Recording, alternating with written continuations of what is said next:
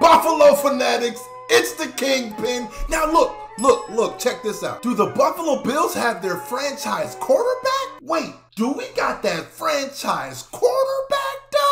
Before I get into all that, if you haven't become a sponsored member, what are you doing? What are you waiting for? You get all the perks. You get to stand out in the comments. You get to get your shout outs in the live chat. You also are automatically entered in a drawing to win a pair of Bills tickets to hang out with the Buffalo Fanatics team. Me, Rico, Bobby, Big Mike, DM3. You get to hang out with all of us. It's a win-win. You guys benefit the brand and we show you guys as much love as possible.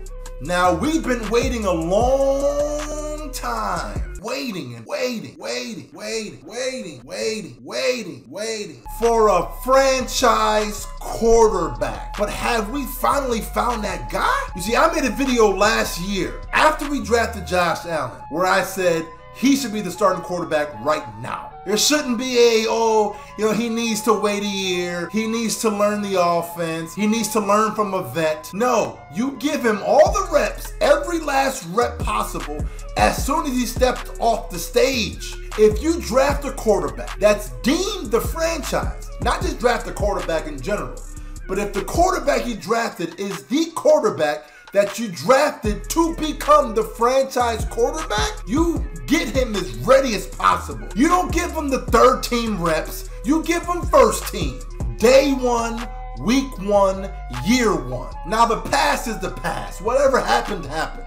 Now, Josh Allen is the starter day one, week one. And that's a beautiful feeling, especially knowing that the man is taking those necessary steps, because that's all we want as fans. So now we get news in OTAs. The man is lights out. He's showing how he's worked on his accuracy. He's even calling his own play. You have to be excited. What's the reason to always sit back and try to, you know, look at the glass half empty? You can't be a fan that way. So it's time to get hyped. It's time to represent Buffalo Bills. What time is it? Come on, it's time to get loud. It's time to represent.